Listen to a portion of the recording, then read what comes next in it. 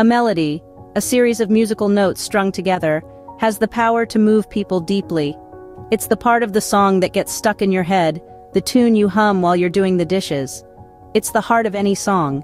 And today, the focus is on creating beautiful melodies on an acoustic guitar. Creating melodies might seem like a magical, mysterious process, reserved only for gifted musicians. But the truth is, anyone can craft a compelling melody with the right approach. Firstly, understanding the basics of music theory is essential.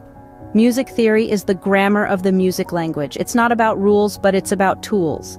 Basic knowledge of scales, intervals, and chords is a must. The major and minor scales are a good starting point. They are the foundation of most melodies. Secondly, experiment with rhythm. A melody is not just about the notes, it's also about when those notes are played. A change in rhythm can turn a dull series of notes into an exciting melody. So don't be afraid to play around with the timing of the notes. Thirdly, repetition is key. Repetition gives a melody its identity. It makes a melody catchy and memorable. Think about your favorite song.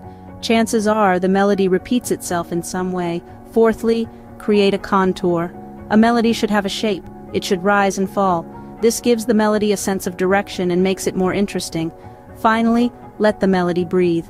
Just like a good story, a good melody needs space. It needs moments of silence. These pauses allow the listener to digest the melody. Creating melodies is a process of exploration and experimentation. It involves understanding the basics, playing with rhythm, repeating phrases, crafting a contour, and letting the melody breathe. It's about finding a balance between predictability and surprise. To summarize, melodies are the heart of any song. They can move people, get stuck in their heads, and make them feel something deep inside. Creating beautiful melodies on an acoustic guitar involves understanding music theory, experimenting with rhythm, using repetition, creating a contour, and letting the melody breathe.